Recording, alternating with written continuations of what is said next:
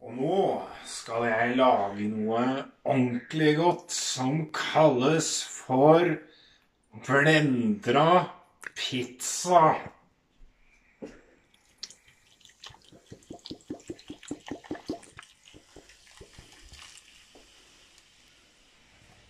Se på det her, da.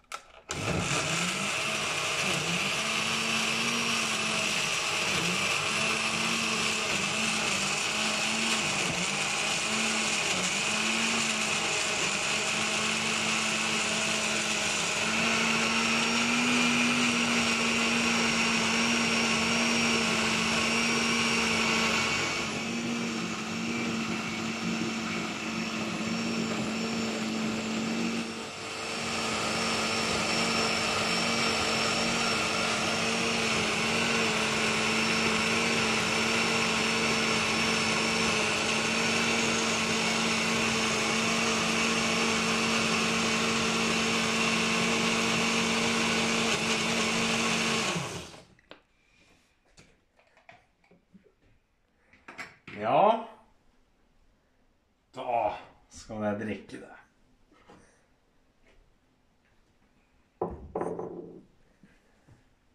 Oi, det lukta litt spesielt.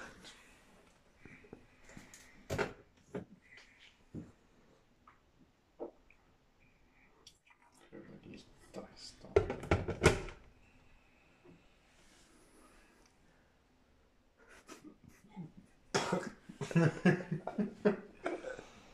Den var ikke så veldig god, Jason. Det var ikke det.